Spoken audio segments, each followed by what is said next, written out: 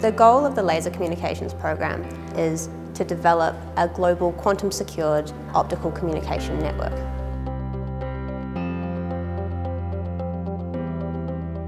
So some of the key benefits of optical communications is that it offers much faster data rates than the current radio frequency technology, uh, which is really limiting the amount of data that we can transfer from space to ground. Because we're transmitting the information on light, it's also naturally suited to being secured through quantum encryption, which will allow provably secure communication.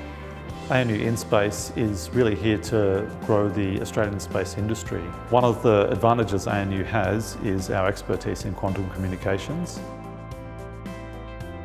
We're applying uh, the quantum communication which has been demonstrated in the lab and over fibre optics to uh, the ground to space segment and this will enable a lot of instruments in space and satellites to send a lot more data back down to Earth a lot faster than is currently possible.